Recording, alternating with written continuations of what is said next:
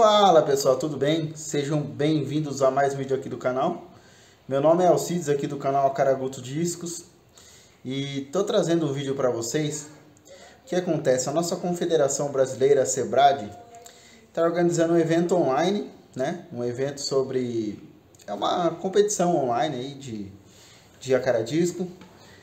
E nós estamos fazendo os testes, né? Filmando os peixes, transportando de lugar eu já aproveitei e transportei uns peixes também para colocar para reproduzir. E eu tive a ideia de explicar para vocês uma maneira de não estressar os peixes e não utilizar peneira para mudar seu peixe de aquário, tá? Então eu filmei aí algumas partes eu capturando peixe, eu filmei o resultado que deu eu não utilizar peneira. Vocês vão ver no final o que aconteceu no mesmo dia que eu transferi o casal. Beleza? Então acompanhe que o vídeo ficou muito legal. Antes de tudo, vamos pedir uma ajuda para vocês aí seguirem a nossa página no Instagram. Quem tem Instagram por favor, a Caraguto Discos, dá aquela força para nós. E também seguir a página da Confederação Brasileira de Acaradisco, Sebrad. A confederação está organizando um evento online, uma competição de acaradisco. É um campeonato online de acaradisco através de vídeo que está cheio de novidade, mas semana que vem vou contar para vocês. Essa bela fêmea aí, uma Red Royal, eu precisava transferi-la para um outro aquário. E foi isso que eu fiz.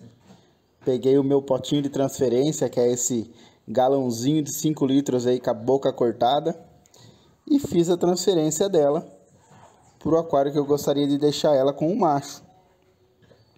E ali eu vou adaptando, vou colocando um pouquinho de água. E agora vou mostrar para vocês eu capturando o macho. Como que eu fiz para tirar também o macho sem dar aquele estresse nele. Vocês vão perceber no final do vídeo por que, que eu estou explicando isso e qual foi o resultado de não utilizar peneira. Vejam aí como que é fácil de capturar. Embora já já foi muito mais fácil. Aqui filmando parece que a coisa fica complicada, né? Mas deu tudo certo também. Consegui capturá-lo aí com uma mão só. É difícil você filmar e fazer uma coisa porque você não pode entrar na frente, na frente da câmera. Então a posição já fica diferente.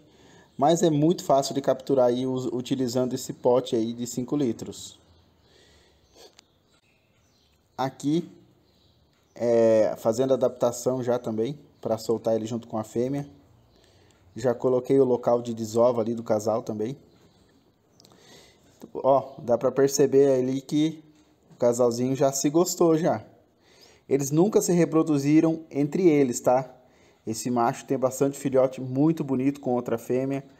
E essa fêmea também tem muito filhote bonito com outro macho. Aí os dois já liberados. Só só esperar agora ver se o casalzinho vai desovar e quanto tempo vai demorar para desovar. Eu apaguei a luz logo depois e saí da estufa. No mesmo dia, quando eu voltei, já estavam desovando. Então isso é para mostrar para vocês que realmente não causa tanto estresse nos peixes fazer dessa maneira. É uma dica que eu deixo aí. Se você pretende transferir peixes, principalmente que estão estressados, ou peixes que vão se reproduzir, faça dessa maneira. Uma coisa que eu não indico é se você tiver muito disco no aquário e você for capturar um a um, a não utilizar essa técnica, porque daí você vai cansar muitos peixes. Essa técnica é boa para tirar dois, três, quatro peixes no máximo de um aquário só, porque realmente você movimenta muito o aquário, você dá uma espantada nos peixes. E utilizando a peneira você é mais rápido, você captura mais peixes de uma vez só. Então, se você for mudar uma matriz de local, faça dessa maneira, que essa é a dica de hoje. Beleza, pessoal? Muito obrigado a todos e até o próximo vídeo. Quem gostou do vídeo, por favor, deixa o like. Quem não é inscrito, por favor, se inscreva no canal. Aquele abraço.